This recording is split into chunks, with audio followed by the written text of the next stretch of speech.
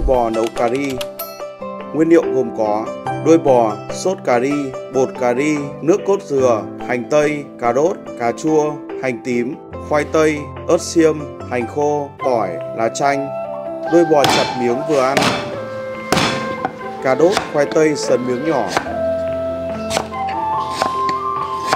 Cà chua, hành tím, hành tây thái hạt nịu,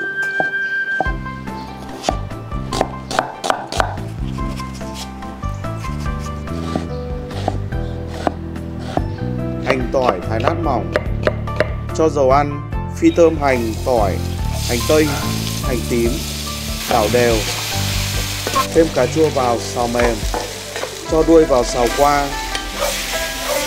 Thêm một thìa muối tinh, một thìa hạt nêm, một thìa bột ngọt, một thìa đường, một thìa phở sốt cà ri, một thìa bột cà ri. Lá chanh xé nhỏ xào qua cho vào nồi. Thêm nước xâm xấp om khoảng 3 giờ. Thêm khoai tây, cà đốt khoảng 15 phút. Đến khi đuôi, khoai tây, cà đốt mềm, thêm nước cốt dừa. Cho ra âu, ăn kèm bánh mì.